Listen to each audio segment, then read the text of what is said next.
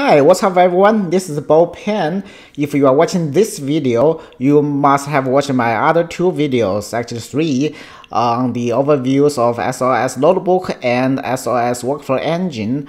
And on the surface, there are two quite different products. SOS Notebook is a multi-language notebook environment based on Jupyter, and SOS Workflow Engine is a text-based workflow engine. And and you might be wondering what are the relationship between, between them.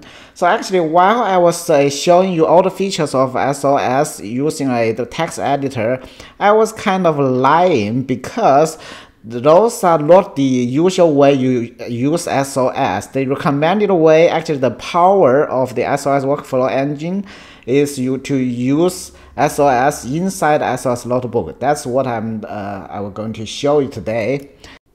So let's get started. So in this directory, you see that uh, this is the files that uh, we created uh, yesterday. So we have the input file, that's Excel file, and then we have the uh, Python script and R script and and SOS uh, workflow engine.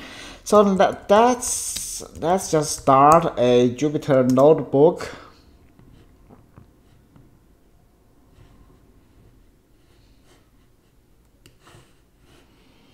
okay make it larger. And let's just repeat what we have done yesterday but inside the SOS notebook.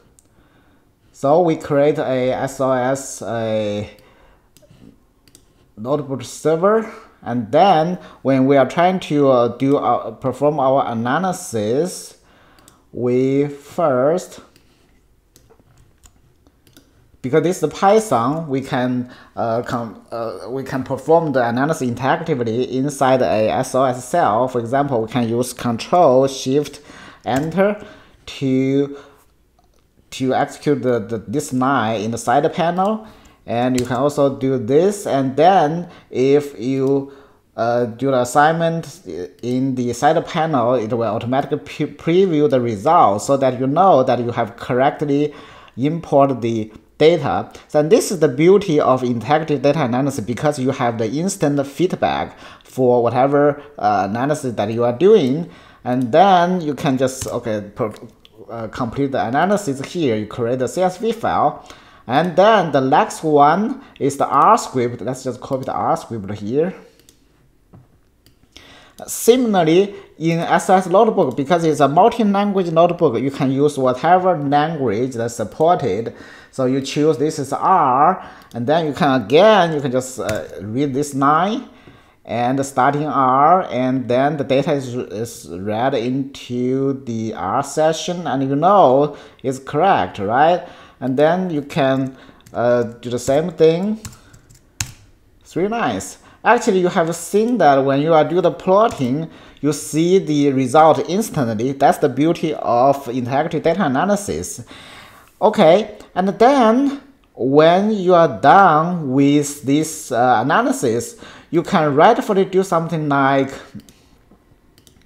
uh, insert a cell above and then say my analysis, I just write something random. Basically, what I meant is that you can, uh, this analysis just a, a convert a Excel file to CSV and plot in R. And then you can even say, I want to show the results so that I can preview dash n and say, uh, or data something like this. So basically, this is your usual SOS notebook session, right? Because uh, after the analysis, you have all the scripts and you have all the results and you have the long descriptions, which was really, really helpful. And you can convert, uh, basically you can generate a HTML report from that. Then, if for whatever reason you need to use some workflow features of the SOS, basically say if the dataset is too large to be analyzed interactively, or if you want to run multiple steps altogether, if you or if you want to use the uh, signatures of SOS, then you can easily convert your interactive data analysis to a batch workflow. That's combination that easy uh, transition is the real power behind SOS and SOS notebook. Let me show you what I meant. So basically right now you have a Python script and it's executed by the Python kernel directly, which is SOS kernel, but you can say convert that to a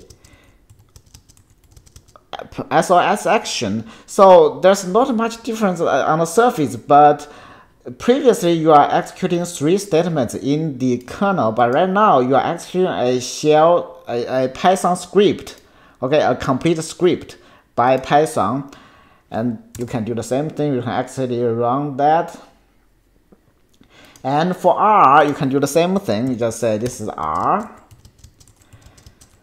And because the difference is that uh, you are converting this piece to a SOS step, so you need to change the subkernel from R to SOS, and then you, you can execute that. So as you can see, the difference that previously you are executing everything inside R, right, right now you are executing in SOS, okay, as a R action, uh, as a action.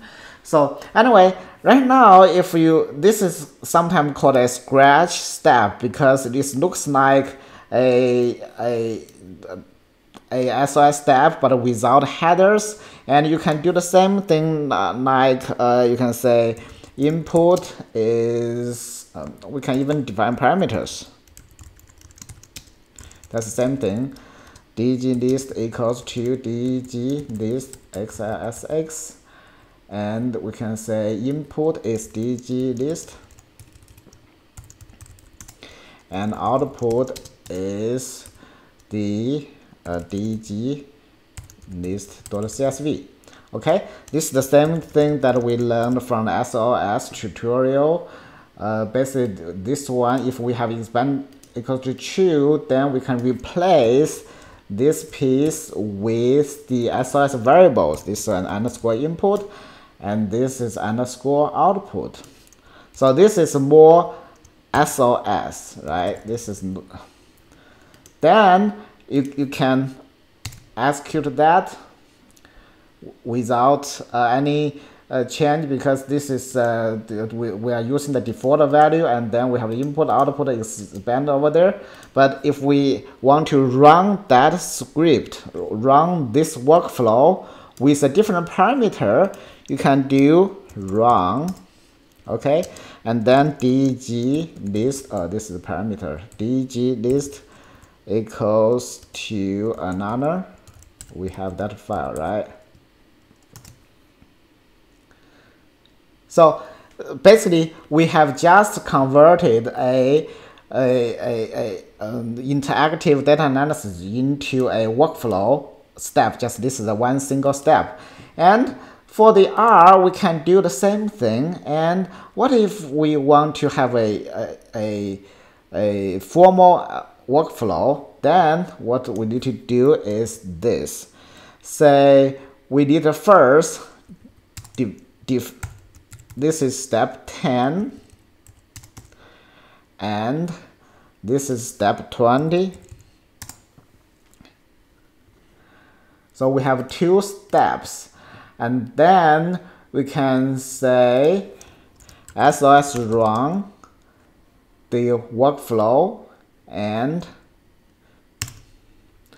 uh, okay. Failed to process input stem digit then digit is not defined.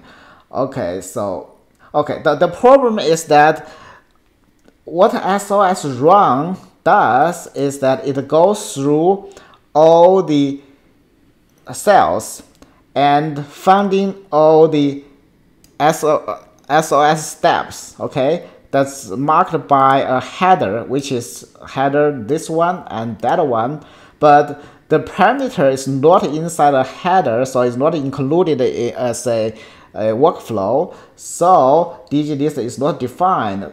We can see this clearer if we use the preview, say this is the preview workflow and the workflow right now inside this notebook is the step 10 and step 20 and there's no definition over there.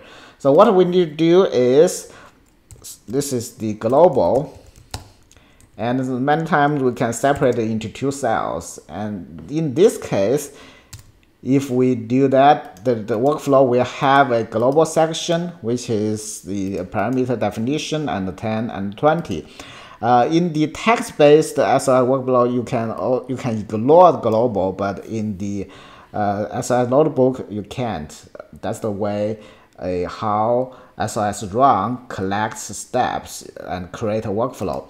So in this case, we can do that.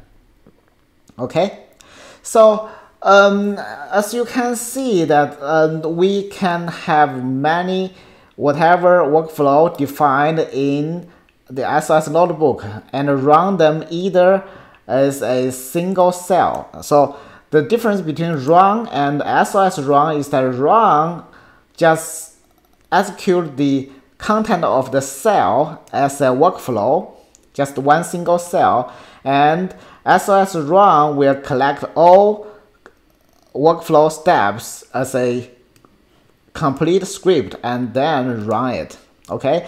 And in in and we can also define parameter here. That's that's not a difference.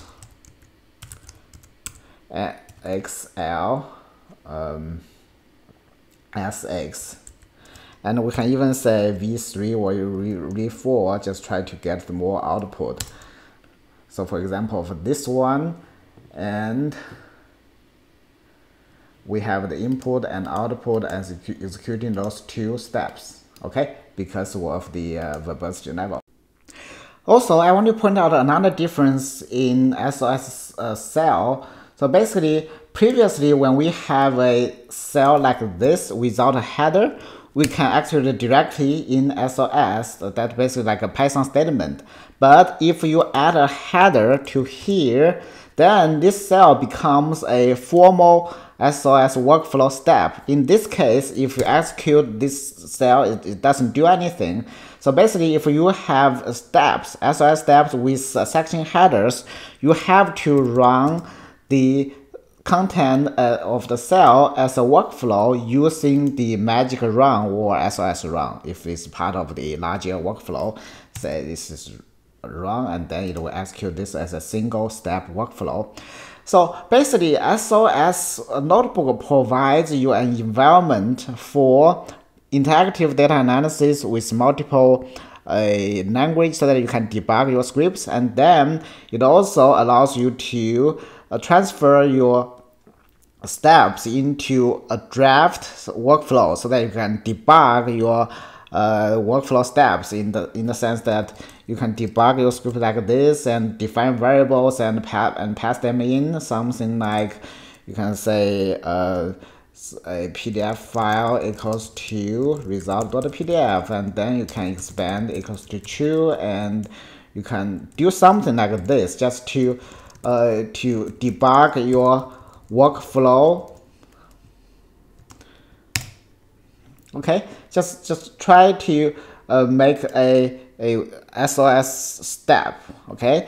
Then you can convert your step into a for, into part of a formal workflow and execute in in using SOS run. So actually the, this workflow can also be executed from command line. For example, if we rename that is to something like just do workflow.